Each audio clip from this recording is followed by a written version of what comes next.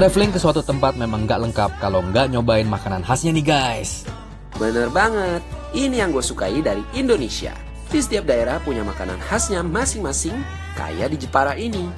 Dan mumpung kita ada di Jepara, kali ini gua dan Lano mau mampir dulu nih ke sebuah rumah makan yang rame banget. Hmm, katanya sih makanan di sini enak-enak. Langsung aja deh, ayo kita masuk.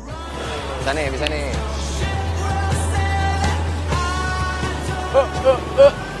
Hey guys, kita masih di Jawa Tengah nih. Kita mau eksplor kotanya. Tapi sebelum kita eksplor, enaknya kita makan dulu kali ya. Gue lapar banget nih. Bagaimana kalau kita coba eh, makanan khas Jawa Tengah? Nah, karena Hah? kita lagi di Jepara, nah kita langsung aja nih kita cobain makanan khas di sini. Kayak di sini enak nih. Oke, Let's my go. trip, My my adventure. adventure. We were staying in Paris. Ini nih, ciri khas rumah makan di Jawa Tengah. Makanannya siap saji guys. Dan para pembeli bisa melihat makanan yang akan dipesan dalam etalase kaca seperti ini. Nah, gua dan Lano sengaja pesan makanan khas daerah Jepara dan Kudus nih, garang asem.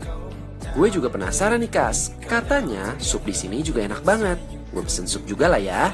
Nah, Boleh, ini boleh, nih pesanan gue. Loh, sama pesanannya. Yuk, makan yuk. Nih, ada telur, ada ati, ini garang asem. Tapi Delano nyobain nih, sup campur, sup daging campur. campur jeroan. daging campur. Udah, lo pasti suka bro. Yuk, Ayo. kita duduk. Nah, waduh, kita lupa pesen minum. Oh iya. Gak apa-apa, ntar juga diantar. Ayo guys. Nih, nasi lo nih. Kita Mak. pesan minum ya. Lo mau apa? Ice teh tawar. Ya, saya juga es teh tawar. Ha! Selamat makan.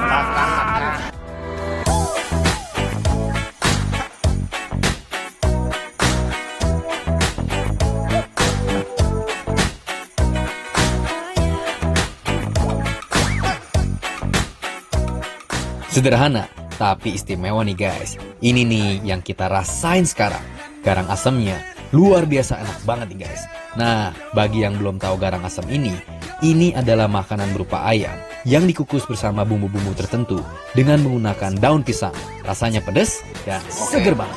Hmm, Enak banget bro. Bener Kas, enak juga ternyata garang asemnya. Gue mau pesen lagi ah. Wah, udah mau habis nih bro. Ah, pesan lagi aja. Iya, iya, Masih iya, banyak bro, tenang. Mbak, boleh pesan satu lagi nggak garang asam ya? Wah, kayaknya dia nggak puas nih makan berbagi. Udah ada. Dia mau pesan sendirian. Oke, wah banyak juga makannya ya. Dari telur, sop, sama garang asem disikat semua. Diantar. Wah, diantar nih. Delano lapar. Ih, Lapar ya, bro, ya? Lapar, lapar, lapar. Terima kasih. Pasti lapar kan, habis banyak aktivitas. Kita harus makan lah buat energi. Setuju. Hmm, penasaran kan sama enaknya? Lihat nih, kalau kita makannya nih bener-bener lahap. Bukan cuma karena lapar, tapi karena makanan ini rasanya perfecto guys. Yoi, pokoknya kalau kalian ke daerah Jepara atau Kudus, Jawa Tengah, harus nyobain nih yang namanya garang asem. Enak, pakai banget. Ayo Kas, kita habiskan semuanya.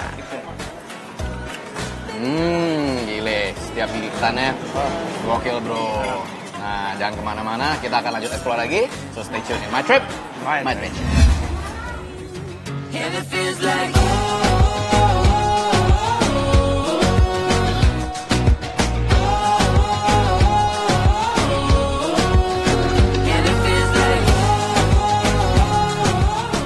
Apa yang kalian bayangin tentang Semarang guys?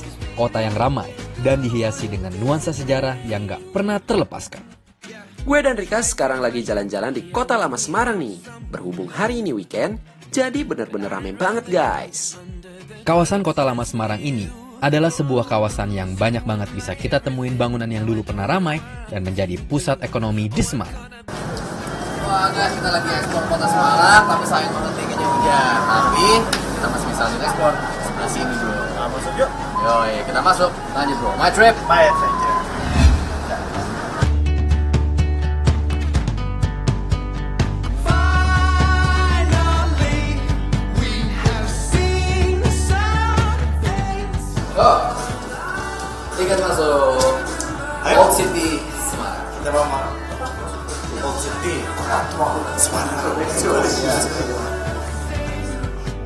Begitu kita masuk, kita udah bisa lihat nih gambar-gambar artistik yang bisa kita gunakan untuk spot foto-foto unik kayak gini.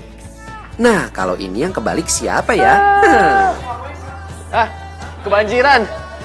Kebanjiran. Bantuin. Museum ini banyak dikenal masyarakat Semarang dengan nama Omah Kuali atau dalam bahasa Indonesia berarti rumah terbalik. Kalau kalian ke sini, kayaknya bakal pengen keliling-keliling terus kayak gini nih guys. Banyak banget fitur 3D yang disiapin, mulai dari ruang tamu kamar tidur hingga dapur dan kayak tempat kita berpose saat ini. Ah, ternyata kita nggak ada di atas lemari, guys. Tapi memang ya, kayak tempat-tempat kayak gini tuh memang momennya lo harus pakai imajinasi lo dengan kreativitas. Jadi ini satu tempat kayak gini aja nih di dapur lo harus bisa explore, cari-cari kayak kayak apa yang bisa lo balik untuk dapetin foto. Jadi memang nih, lo nggak usah harus ke tempat yang jauh-jauh. Iya bisa di dapetin kota foto aja. sini aja. gitu. Nah, udah ayo lanjut yuk. Lanjut lagi, my trip. My adventure.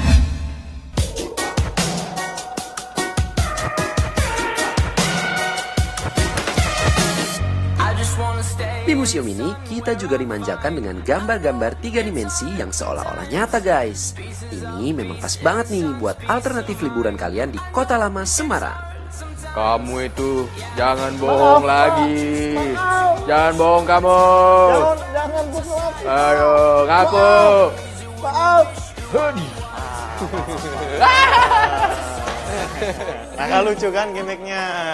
Masih ada banyak lagi nih, seru banget di sini. Memang nih, jadi kalau kalian nih eh, main-main ke Semarang bisa nih jadiin salah satu bucket list kalau main ke sini nih. Setuju bro? Ya setuju banget. Yoi, Harus bro. ke Old City.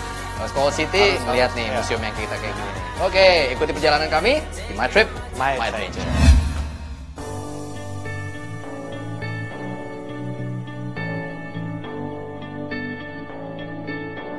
I've been reading books of. Keseruan kami di Old City 3D Art Museum ini kayaknya jadi penutup adventure kita di Jawa Tengah.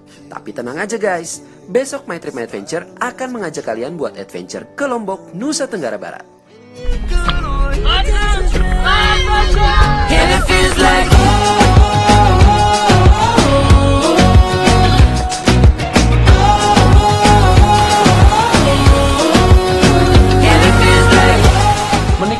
putihnya pasir pantai yang membentang dan hamparan laut yang memanjakan mata.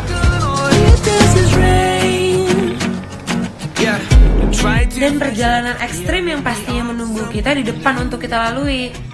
Selain keindahan alamnya, pulau ini juga memiliki adat yang sangat istimewa. Dan Pulau Lombok ini memberikan keindahannya untuk kita explore guys. Bersama gue Jeffrey Justin, baby, when you Dan gue Baby Jovanka. this is my trip and it